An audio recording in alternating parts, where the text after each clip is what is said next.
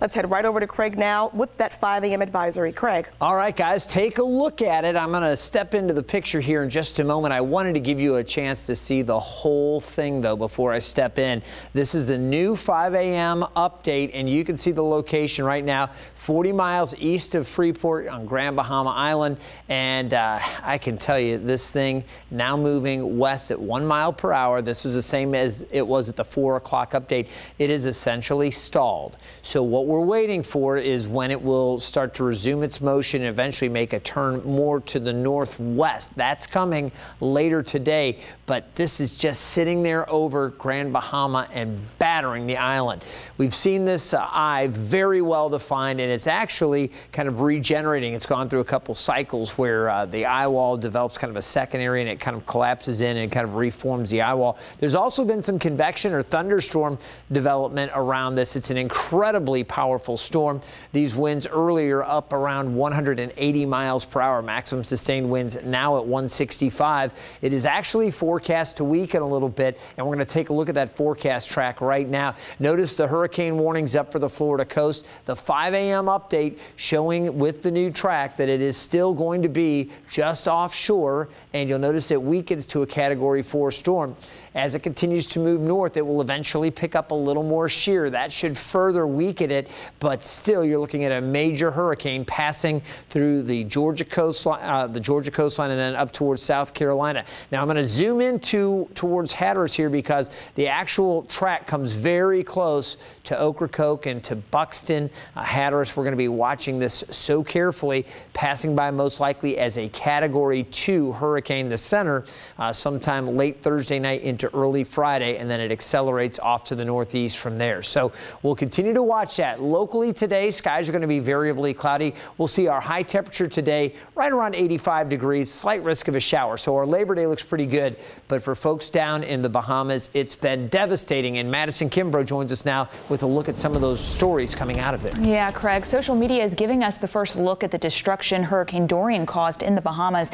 Now take a look at this video as it shows someone inside of their home in Abaco. You can see the family taking cover in their bathroom, and it's hard to see, but the floor is covered in about an inch of water. Now, if we look at another video right over here, you can see the same person tweeted the video of this extreme flooding in Abaco. Obviously, it's going to be a long road to recovery for the island. And then this right here, Pray for the Bahamas is going viral right now as the people call out for help. Now, we will keep you posted on all the updates from the island and bring you the latest.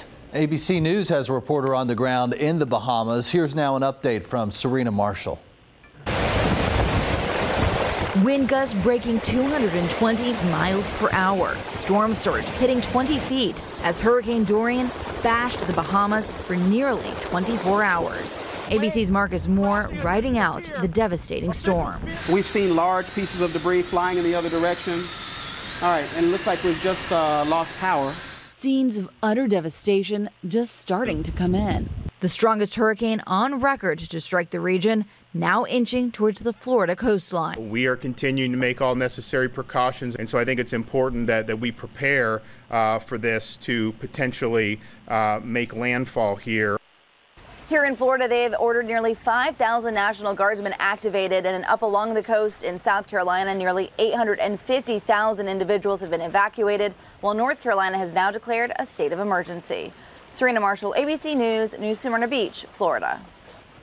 Well, right now, Virginia Task Force 2, based out of Virginia Beach, is in Florida. So let's head over now to Megan Shen. Megan, what is their status? Ashley, Virginia Task Force 2 is in Orlando, Florida, to be specific. Everyone's preparing to respond to Hurricane Dorian right now. Here are some pictures of the team at the convention center. Right now, it's hurry up and wait for the storm. In the meantime, team members trained on water rescues and environmental medical hazards. The team is also collecting data on the powerful hurricane. Dan, Ashley, Ashley, back to you guys. Well, two shelters in Virginia are helping out animals evacuated because of Dorian. The Norfolk SPCA took in 34 animals from a shelter in Beaufort County, South Carolina.